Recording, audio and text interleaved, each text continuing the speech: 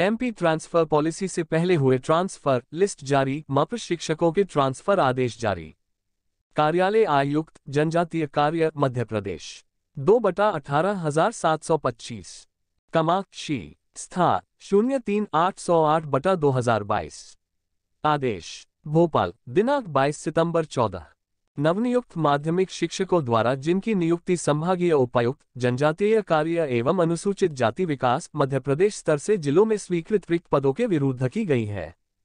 नवनियुक्त माध्यमिक शिक्षकों द्वारा पदस्थापना स्थान में पारिवारिक कठिनाइयों, पति अथवा पत्नी के अन्य ज़िले में शासकीय सेवा में होने एवं गृह ज़िले में पदस्थापना स्थान की दूरी होने के कारण पदस्थापना स्थान में संशोधन कराने का आवेदन किया गया है। प्राप्त आवेदनों का परीक्षण किया गया, चाहे गए ज़िले में पद रिक्त होने एवं पारिवारिक कठिनाइयों को दृष्टिगत रखते हुए विचारोपरांत निम्न नवनियुक्त माध्यमिक शिक्षकों की पदस्थापना स्थान में संशोधन किया जाता है।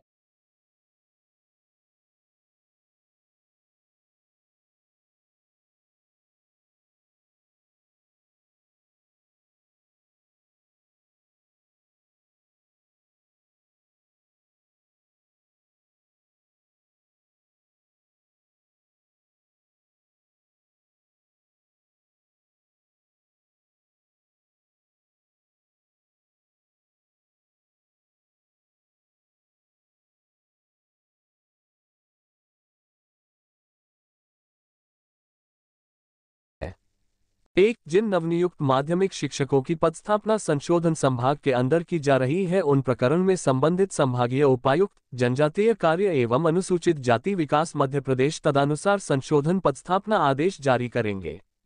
दो, जिन नवनियुक्त माध्यमिक शिक्षकों की पदस्थापना में संशोधन कर संभाग के बाहर पदस्थ किया जा रहा है है उनको वर्तमान ज़िले द्वारा संशोधित संभाग के लिए कार्यमुक्त किया जाएगा तत्पश्चात नवीन संभाग के नियुक्तिकर्ता अधिकारी द्वारा रिक्त पदों पर पदस्थापना आदेश जारी किए जावेंगे।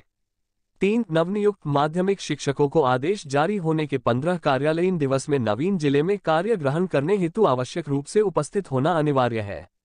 आयुक्त, जनजातीय कार्य मध्य प्रदेश। इस प्रकार की अपडेट जानकारी के लिए हमारे चैनल से जुड़े। अगर आपने अभी तक चैनल सब्सक्राइब नहीं किया हो तो प्लीज़ पहले सब्सक्राइब कर ले और पास में जो बेल आइकन है, उसे आल पर सेट कर दे। धन्यवाद।